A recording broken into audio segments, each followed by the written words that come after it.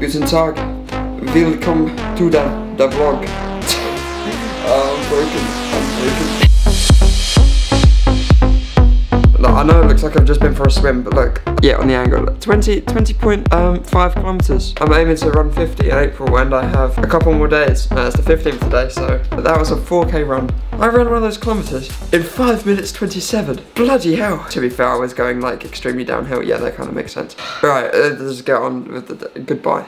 I've decided I'm gonna walk outside today. Sun's shining, and why shouldn't I be outside? It looks amazing. It's like two o'clock, so I still have stuff to do. Uh, I better pack up my stuff. I need? That, that, definitely. We should get going. Oh my god, look at this exposure. This is terrifying. Oh my god. This is fun. Little field trip. Right, it's just paradise. Just. Right, so I just finished the edit of Thursday's vlog last Thursday, the one where I'm learning German. Pretty good, that's all done, that's good. With my dad as well today, he's in there, so. We've made a desk out of my boxes. I'm gonna let this export. I just need to do a few more stuff. I'm worried also that my laptop's gonna run out of charge, very worried about that. Hello, it's me again. I'm back. Uh, I just uploaded the video. I think I'm gonna write a bit. I'm gonna write a bit and then right, I'm gonna get on with it because I'm going crazy just talking to a camera. And that's what a lot of people have been asking me, like, do you go crazy just talking to a camera all day? And um, so, like, there's so much stuff I cut from these vlogs, you no idea. Like, I took absolute Just as I turn off the camera, something exciting happens. That email that I just received, um, my student film Lemon Bar got runner-up in a big film festival, Into Film. They have a monthly film festival. The review is absolutely insane. So happy about that. Uh, yeah, that's pretty crazy. Uh, thank you to the guys at Into Film if you're watching this. That's pretty sick. Right, so I've just been writing a uh, short film called Passion Fruit Juice. It's coming along pretty well. I've been learning a bit of John Lennon's Imagine.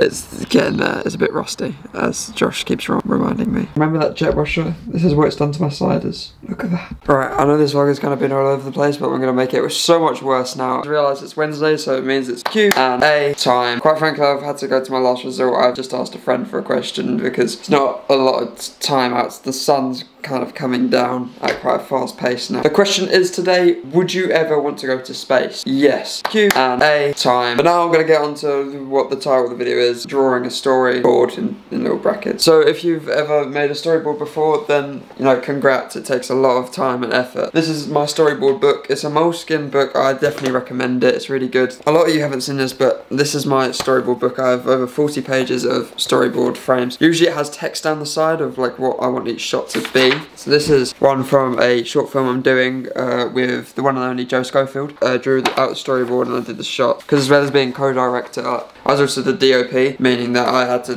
draw and write stuff. Yeah, here's a few frames from that. But today I'm going to be drawing out a page from Welcome to the Apocalypse and what I want it to look like. Right, I'm currently standing here on top of my Xbox. So, moving on. Um, first of all, you need to get your dimensions because where's the...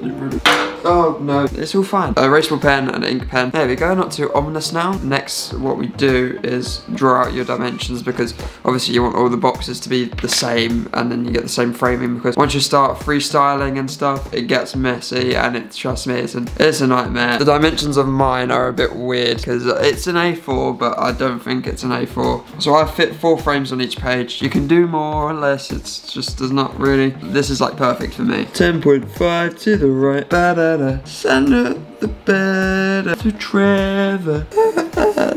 Nice one, Max. You did really well. Okay, now you can see we have boxes. So I've done it in 16 by 9 aspect ratio. What's the tendency in films like 21 by 9 or 25, 25. But my YouTube videos are in, so this will be in 2 by 1 aspect ratio. Right, next it's probably useful to, you know, get your script and decide what the shot you're gonna do first. Like, depending on how big the project is, for this I'll probably do like three pages. I just do the important shots that I want to remember. And another good touch you could probably do is put down the gear you want to use for it. Label if it's interior, the location, and what time of day. And if it's shooting day, you can go extra mile. Literally, storyboards can go the extra mile. Alright, uh, hello, it's me again. Uh, I've just finished the sketches. Uh, they're very rough. You don't need good drawing ability to get, you know, draw a story. You just need to know the image inside your head and be able to plot it down. Uh, I'm gonna ink it in now. Yeah. Whoa, that was cool. I just did that super fast. And uh, here is the, oh, everything's dropped. Life's a disaster. Here we go. Yeah, here's the finished ink. So my next stages would be plotting colours, writing about it. But yeah, that's the first frame to Welcome to the Apocalypse. And pre-production has started for it, so that's pretty exciting. Uh, with that out of the way, thank you for watching the video. Uh, as always, make sure you subscribe for future content. And also feel free to hit the like button down below, it helps a lot. So yeah, without further ado, I'll see you tomorrow. Have a good one, and good night.